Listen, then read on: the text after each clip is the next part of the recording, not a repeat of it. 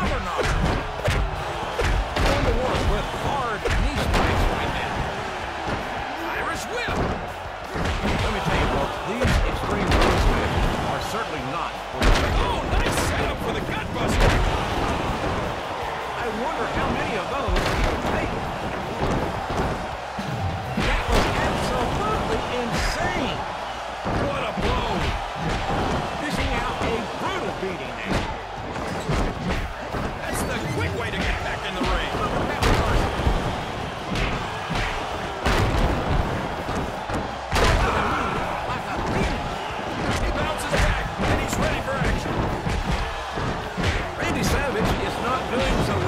I don't know he can do it.